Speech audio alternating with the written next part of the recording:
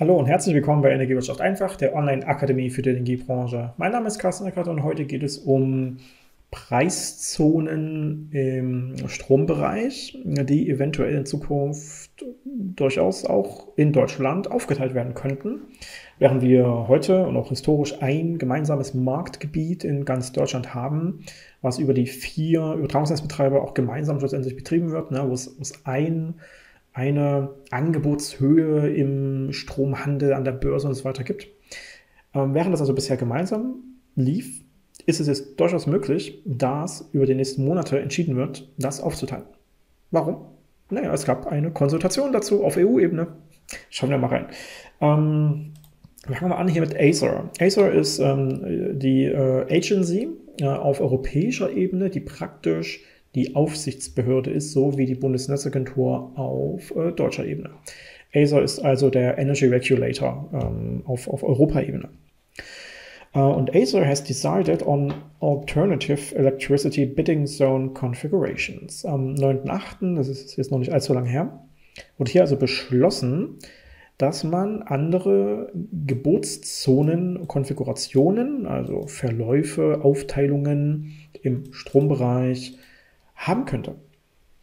Ähm, dann wird das hier beschrieben, ja, das hat man jetzt also so gemacht. Und jetzt haben die TSOs, die Transmission System Operators, das sind die Übertragungsnetzbetreiber, also die vier übergeordneten in Deutschland, was ja 50 Hertz, Amprion, Tenet und ähm, Transnet BW sind. Die haben jetzt zwölf Monate Zeit, den Review praktisch äh, nochmal durchzuführen und dann zu empfehlen, ob man den aktuellen Stand behalten möchte oder ähm, das Ganze jetzt ändern möchte. Ne? Also diese Zonen vielleicht aufteilen möchte. So. Und jetzt hier, das ist alles englischsprachig. Ähm, es gibt auch durchaus deutsche Quellen, um diese äh, Geburtszonenlogik äh, weiter zu verstehen. Ähm, Im Großen und Ganzen läuft es darauf hinaus, dass ähm, das ein geografisches Gebiet ist, was ein relativ gleichbleibendes Angebot oder gleichartiges Angebot äh, für, für Stromerzeugung und Handel hat. Ähm, und das deswegen aus sich selbst heraus ein ähnliches Preisgefüge auch einfach entstehen lässt. Das haben wir ganz streng genommen in Deutschland nicht, weil, also wenn man sich die Realität anschaut, weil wir natürlich im, im Norden, im hohen Norden, wenn der Wind weht, extrem günstigen Windstrom generieren können. Im Süden, wenn die Sonne scheint, eigentlich prinzipiell super günstigen Solarstrom auch haben können. Dazwischen gibt es aber natürlich äh, viele fossile Kraftwerke, die anhand von Importpreisen auch natürlich extreme Schwankungen haben. Ähm, von daher könnte man das durchaus sinnvollerweise auch trennen. Und wir haben durchaus Länder, in denen es getrennte Preiszonen gibt. Da gucken wir dann am Ende mal rein wo man ähm, sehen kann, dass ähm, es tatsächlich auch extreme Unterschiede gibt, gerade in den Ländern, die Import-Export sehr stark auch durchführen können oder die Länder, die halt so für sich einfach ähm, aus, aus regionalen Gründen eine ganz tolle eigene Produktion haben. Ja, das sehen wir dann aber. Ähm, also es könnte durchaus Sinn machen, das zu trennen. Konsequenz wäre nur halt, dass man dann, je nachdem, wo man den Strom dann einkauft, um, komplett unterschiedliche, also geografisch einkauft, komplett unterschiedliche Preisgefüge hat. Und dass dann vielleicht in, in, Norddeutschland Strom viel günstiger ist als in Süddeutschland. Und im Osten oder im Westen und so weiter. Ne? Je nachdem, wie man es aufteilt. Ähm, das Ganze ist dann auch schon beschrieben, ne? what are the benefits, äh, das jetzt zu ändern. Ne? Ähm, der, der, der Handel über Zonen hinweg könnte durchaus interessanter werden. Auf Grundlage dieser unterschiedlichen Preisgefüge könnten effizientere Investmentanreize praktisch geschaffen werden ähm, oder deutlich, ich sag mal, realitätsnäher die Anreize sein. Und äh, dementsprechend ist es hier und da natürlich auch notwendiger oder weniger notwendig, äh, auch andere Technologien einzuführen und die sind dann entsprechend vor Ort auch vielleicht eher wertgeschätzt oder an der Realität nahe dran. Und deswegen ist das alles vielleicht wirtschaftlicher und effizienter. Hm, könnte sein. Es gibt dazu also jede Menge Unterlagen. Ähm, während wir gerade noch bei Acer waren, können wir auch noch mal gerade zu ENSO-E schauen. Äh, ENSO-E ist praktisch der Netzbetreiberverband auf europäischer Ebene für E-Electricity. Ne? ENSO-G wäre das gleiche für Gas. Die haben schon im April äh, Workshops veranstaltet oder im, ein Webinar besser gesagt dazu veranstaltet, ähm, dass es eben diese, diese Diskussion gibt. Und äh, hier sind eben auch die Slides und auch ein Recording verlinkt. Das ist also schon mal so als Grundlagen, um das Thema reinzukommen, ist das ganz interessant. Die sind englischsprachig, ne, damit muss man dann arbeiten. Aber ähm, hier ist dann auf ne, 51 Folien im Großen und Ganzen beschrieben. Ne, was machen wir hier, warum machen wir das, worauf läuft es hinaus? Und ähm, während so allgemeine Erklärungen am Anfang noch hier so kommen, ähm, geht es dann immer mehr auf auch Daten und Statistiken und äh, auf der, die Modelle, die für die Berechnung und für die Einschätzung dann schlussendlich genutzt werden. Ne? Viele Datenpunkte, die hier auch nochmal aufgeführt werden, auch historische Entwicklungen und dann schlussendlich äh, kommt man dann ähm, zur Erkenntnis, dass es also durchaus sinnvoll sein könnte, ähm, in verschiedenen Ländern eine Aufteilung zu machen. Es geht auch nicht nur um Deutschland. Ähm, wir haben jetzt ganz konkrete Erkenntnisse und Vorschläge für Deutschland, Frankreich, ähm, ich glaube Schweden habe ich gesehen, also für, für einige Länder, da gucken wir, da kann ich auch noch mal rein. Also hier 50 Folien auf Englisch, die so ein bisschen grundsätzlich sehr interessant sind, gerade auch wenn man sich überhaupt mit dem europäischen Markt, europäischen Netz auseinandersetzen möchte. Dann gibt es ja auch ein äh, YouTube-Video, also dieser Workshop wurde aufgezeichnet. Das sind äh, zwei Stunden äh, auf dem Kanal von N2E. Die haben deutlich weniger Abonnenten als wir auf unserem Kanal. Das finde ich natürlich super. Ähm, hier kann man sich das auf zwei Stunden nochmal genauer erklären lassen, auch natürlich englischsprachig.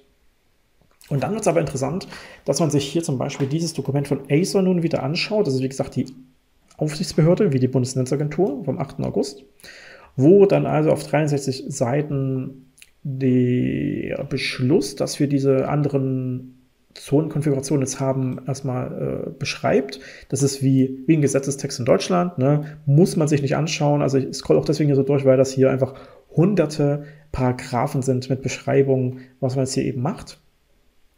Ein bisschen greifbarer und interessanter ist dann das zweite Dokument, ich verlinke das ja also in der Videobeschreibung. Der Anhang, Annex 1, List of alternative bidding zone configurations to be considered for the bidding zone review. Ah, hier sind jetzt die alternativen Konfigurationen zu sehen. Ähm, und das ist dann jetzt wirklich das Interessante. Äh, wir haben hier zum Beispiel ne, DE, das ist dann entsprechend Deutschland, äh, Frankreich, Italien, Niederlande, Schweden, die hier betroffen sind. Ne? Wir sind auch hier äh, Central European und Nordic als die ähm, Netzgebiete, Netzzonen. Ne? Also so ein bisschen die Frage, wir haben eigentlich ein, ein zusammenhängendes Stromnetz, aber wir haben streng genommen ein kontinentaleuropäisches Netz und dann nochmal ein nordisches Netz und so weiter. Die sind aber natürlich auch gekoppelt. Ne? Also, ähm, wir haben nämlich dann hier Grafiken, die das zeigen. Und das ist tatsächlich jetzt der erste Vorschlag. Ähm, der erste, der so äh, von der Behörde kam, der hier so die Grenze einmal in, im großen ganzen Nord und Süd durchführt. Diese erste können wir aber ein bisschen gleich über, über scrollen, weil es gibt dann eine zweite, die ist nur leicht unterschiedlich. Die macht dann nämlich hier den Schwenker, dass praktisch Nordrhein-Westfalen im Großen und Ganzen drin ist, um Amprion einmal komplett praktisch mit reinzunehmen. Also wir sind hier, das ist jetzt hier rot und in der vorigen ist das hier noch alles blau. Ne?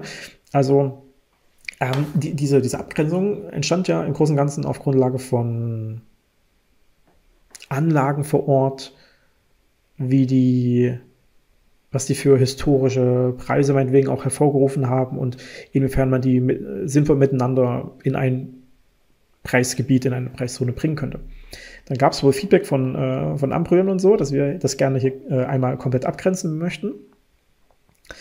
Ähm, und dann gäbe es die Variante mit dreien. Ne? Einmal Osten, einmal Nordwest und einmal Süd. Ähm, nicht uninteressant. Hier ist im Großen und Ganzen, ich sag mal, 50 Hertz als eine Preiszone dann zu sehen. Ne, wir haben in Mecklenburg natürlich äh, Windenergie ganz guter Natur. In Brandenburg ist auch relativ viel Fläche, wo Wind äh, kommen könnte. Und ja, ansonsten haben wir hier mit, mit Mitteldeutschland so Länder, in denen theoretisch auch relativ viel da laufen kann, aber wo wir auch viele Proteste haben gegen, gegen Wind. Ähm, Nordwest ist natürlich dann eigentlich super interessant, weil hier extrem viel Nordseewind natürlich auch noch ankommt ähm, und historisch, aber auch hier in Nordrhein-Westfalen ja nicht wenige ähm, Kohlekraftwerke lagen und noch liegen. Ne? Das ist nicht, nicht uninteressant, was das für eine Wirkung hat. Und dann der Süden, der ja eigentlich äh, sehr, sehr viel Industrieverbrauch auch hat. Ja, also auch Rheinland-Pfalz und Hessen und, und dann natürlich die beiden südlichsten. Ähm, das hat natürlich eine extreme Nachfrageseite. Hm. Dann gibt es noch die vierte Variante mit vier aufgeteilten Preiszonen, wo im Großen und Ganzen dann nochmal der eigentliche Süden, Bavü und Bayern zusammengehören, der Osten, ähm, der, ja, der Nordwesten, der wirklich sehr, sehr viel Nordsee-Einfluss hat und dann der, der Westwesten, ähm, dann natürlich sehr, sehr viel Übertragung hat nach ähm, Niederlande, Belgien und prinzipiell auch Frankreich. Also da haben wir auch ganz unterschiedliche Effekte auf natürlich ähm, potenziell Angebot und Nachfrage, ähm, weil der Handel natürlich mit außen extreme Wirkung hat. Nordseewind hat eine extreme Wirkung. Hier oben ist auch dann eine Übergabe nach Dänemark. Hier drüben sind Übergaben nach Polen und Tschechien. Ja. Ähm, und unten ist der extreme industrielle Verbrauch. Hm. Hm. Also nicht uninteressant. Ähm, des Weiteren, ne, hier in Frankreich auf, auf drei Zonen aufgeteilt. Ähm, dann haben wir Italien oben eine Trennung. Ähm, in den Niederlande, genau, in, in auch. Ist es dasselbe Blau? Doch, das wird dasselbe Blau sein. In, in zwei Bereiche. Ähm, und dann hier natürlich auch nochmal äh, Schweden in mehrere. Warum Schweden jetzt nicht interessant ist, ist es das letzte. Achso, wir haben auch mehrere, mehrere Varianten für Schweden. Ne? Da haben wir im Detail, ja genau, hier in diesem Bereich haben wir da Unterschiede. Ähm, und dann nochmal andere Szenarien mit Schweden, genau. Okay.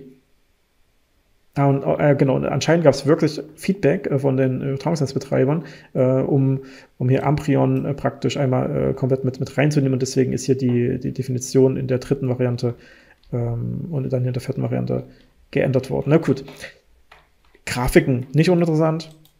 Eigentlicher Inhalt auf diesen 63 Seiten ist aber mehr so rechtssicher Text und hier ein bisschen ähm, Visualisierung, wo diese Zonen langgehen könnten. Was ist so ein bisschen der Hintergrund? Wir gehen hier mal auf die Apex Spot, also das ist der, der Kurzfristhandel. Ja, jetzt hier mal Daten, ähm, Trading Date, also Handelstag 17. August. Äh, Lieferung entsprechend 18. weil es äh, Day Ahead ist, ne? also der, der Vortagshandel, der Handel für morgen immer. Und das habe ich hier mal beispielhaft äh, ups, 15 äh, bis 16 Uhr als, als Stundenprodukt praktisch genommen. Und dann sehen wir hier in Europa durchaus äh, fundamentale Unterschiede in der Bepreisung. Hier Großbritannien 394, Frankreich 535, Deutschland sogar ein bisschen höher. Aktuell haben wir wegen Gaspreisen auch extreme Spitzen ähm, wegen den Gaskraftwerken. Polen viel weniger. So, und dann ist aber interessant hier oben. Schweden und Norwegen 528, 526 an den Übergabestellen praktisch für den kontinentaleuropäischen Handel. Dann ein deutlicher Schwenk nach unten, 359, 325. Deutlicher Schwenk 85, 19. Deutlicher Schwenk 72, 1,45 Euro. Atlantik, also eigentlich gut, Nordsee, Atlantik kann man ein bisschen streiten. Ähm, hier kommt natürlich extremer Wind an und natürlich auch äh, schlussendlich Wasserkraftpotenziale und Co. Aber hier oben 1,45. Das ist ja wohl unfassbar. Das sind Preise, die wir in Deutschland teilweise auch hatten, wenn wir extrem gute erneuerbare Tage hatten, na klar. Also kamen wir auch wirklich in, in fantastische Preisregionen. Ähm, ist aktuell in der, in der gesamten Ukraine-Krise natürlich absolut nicht zu sehen. Also es gibt durchaus Aufteilung. Hier sehen wir das in verschiedenen Ländern, verschiedene Aufteilungen.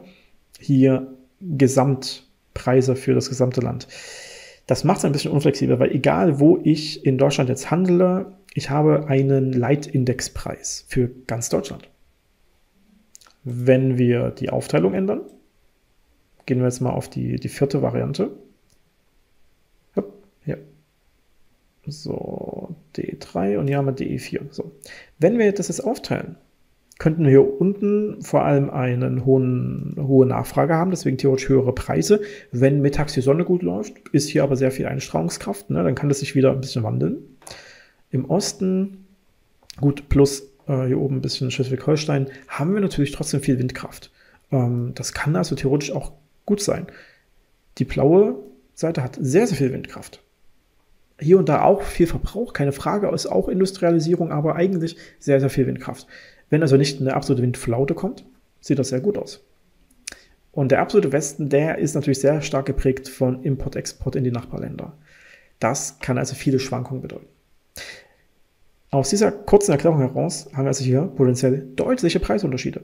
Ganz, ganz deutlich. Je nachdem, was wann wie wo aussieht. Und das könnte durchaus handelstechnisch äußerst interessant sein, um eben auch gezielt die Bereiche, die sich wirtschaftlich gut aufgestellt haben, weiter zu fördern und die nicht so gut aufgestellten, nicht so nachhaltig aufgestellten Bereiche anzureizen, jetzt zu investieren. Ja, immer so ein bisschen im Hintergrund, wenn wir von der Energiewende ausgehen, steht erstmal genügend Solar- und Windkraft. Brauchen die keine einzukaufenden Brennstoffe, keine dauerhaft zu bezahlten Personalstellen, die vor Ort was machen, keine dauerhafte Lieferinfrastruktur und so weiter. Die brauchen nur den natürlichen Rohstoff, der natürlich da sein müsste. Wenn man überproduziert und es wegspeichert, ist das also prinzipiell die günstigste Variante, die wir uns nur vorstellen können. Wir müssen einmal viel investieren, aber der Betrieb an sich, die Erzeugung an sich, ist dann sehr günstig. Hm. Und wir haben natürlich heute vollkommen unterschiedliche Ausbauraten. Windkraft in Bayern vernachlässigbar. Da ist nichts gemacht worden. Im Norden riesig. Zwischendurch teilweise auch sehr gut. Sonnenenergie, ja, weit verbreitet, wird es wahrscheinlich noch deutlich mehr über die nächsten Jahre mit dem neuen EEG. Also viele Anreize, um hier was zu machen.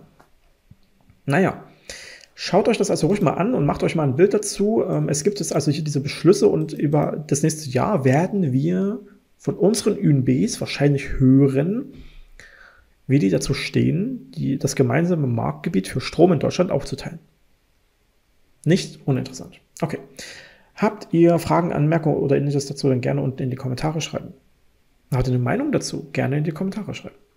Ansonsten, wie immer, like das Video, abonniert den Kanal und aktiviert die Glocke, damit ihr auch die nächsten Videos nicht verpasst. Und dann bis zum nächsten Mal hier bei Energiewirtschaft einfach, der Online-Akademie für die Energiebranche. Mein Name ist Carsten Eckert.